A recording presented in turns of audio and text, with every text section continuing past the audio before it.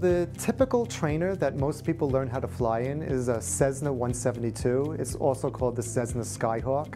It has been around for, oh, 60, 70 years at this point. It's been around for a long, long time. It's a tried and true design.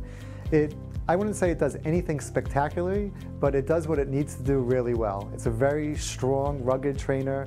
Takes, can take a lot of abuse. It's very gentle on students. It's relatively easy to fly.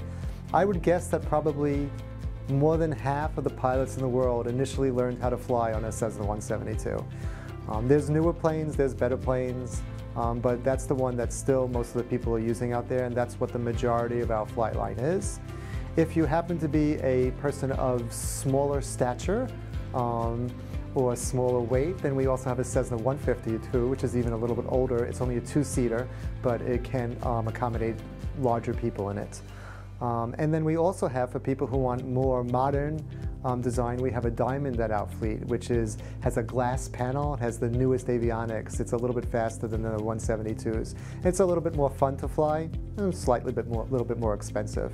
Um, and then, of course, we have the multi-engine trainers or the retractable gears and things like that. But the most people are going to come here. They're going to learn on a 172, and they're going to join the legions of pilots who've, you know, broken the ice on that plane as well.